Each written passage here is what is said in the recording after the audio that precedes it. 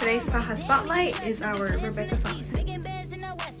Alright y'all, so this faja right here gives you an hourglass shape. It's best for working out, to wear on a day-to-day basis, or even a date out. The best part of this faja is that it gives full back coverage. Our fajas are made out of very high quality material that helps you sweat, helps mold your body, helps that back posture, helps you from overeating. It's stretchy but not too stretchy. Two adjustable hooks as you size down, and here are our adjustable straps on the top for short or tall torso.